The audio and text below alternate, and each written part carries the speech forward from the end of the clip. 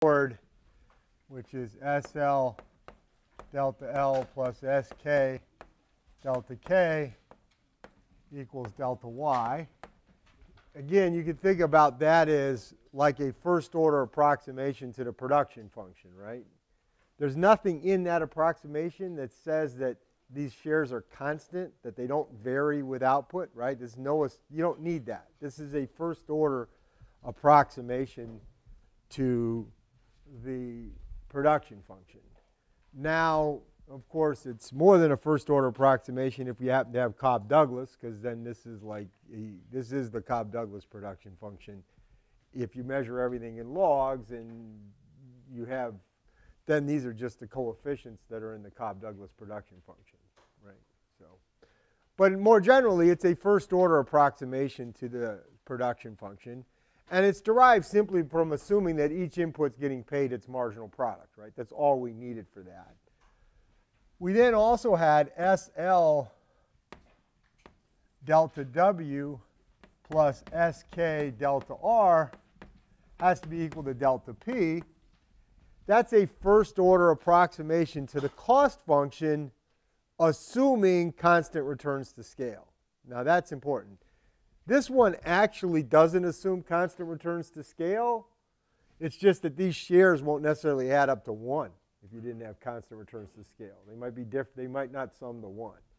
But this one does assume constant returns to scale. If you don't have constant returns to scale, this, this equation is going to change. It's going to change in two really significant ways. One is these shares will no longer be shares, there'll be marginal shares. There'll be shares in which these factors are used on the margin. Okay? And then there'll be a Y term because if you don't have constant returns to scale, then changes in output will change marginal cost.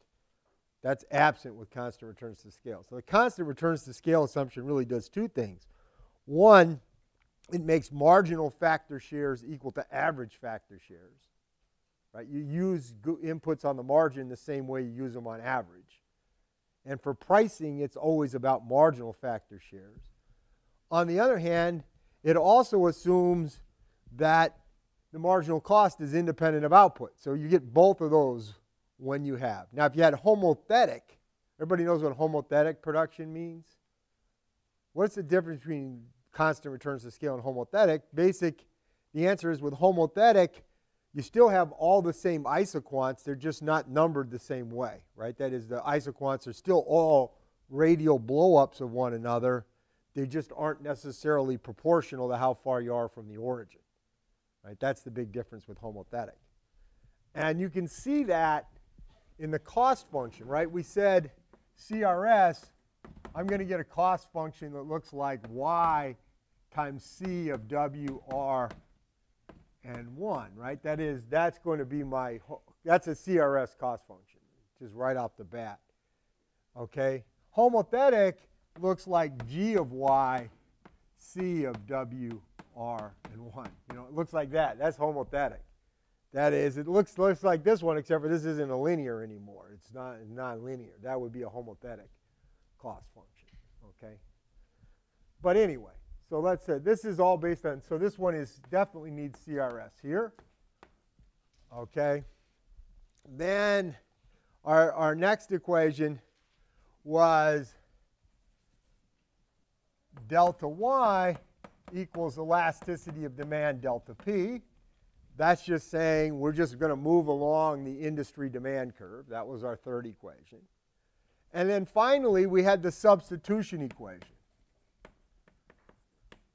And for the substitution equation, we said it was delta L minus delta K equals sigma delta R minus delta W, which works in the two-factor case because with two factors, relative quantities are just a function of relative prices, right? That's true CRS. It's also actually true for homothetic. That formula would still be true with homothetic production. Okay?